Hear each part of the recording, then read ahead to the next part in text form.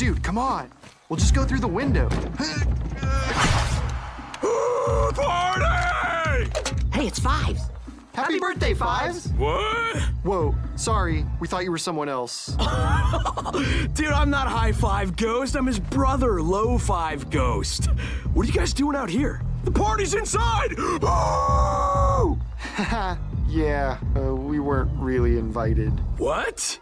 Why not? That's what we want to know. We don't really care. We just want to get in.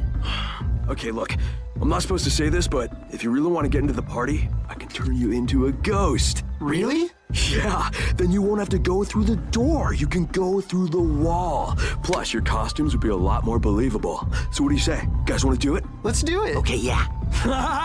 All right! Up high, down low. Now you're ghosts.